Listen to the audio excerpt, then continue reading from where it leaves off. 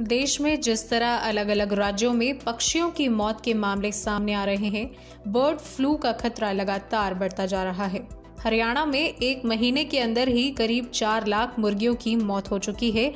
वहीं गुजरात के जूनागढ़ में मंगलवार को भी तिरपन और हिमाचल में 336 और प्रवासी परिंदे मृत मिले हैं। विशेषज्ञ इनकी मौत बर्ड फ्लू के चलते होने की आशंका जता रहे हैं। दोनों ही जगहों पर जाँच के लिए पहुँची टीम ने सैंपल ले लिए हैं।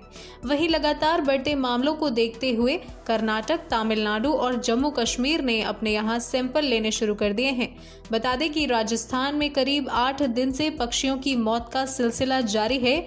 बर्ड फ्लू के कारण प्रदेश में 550 पक्षियों की जान जा चुकी है। सत्रह सौ बतकों और मध्य प्रदेश के इंदौर मंदसौर के बाद अब आगरा में भी बर्ड फ्लू के कारण 400 सौ की मौत हो चुकी है।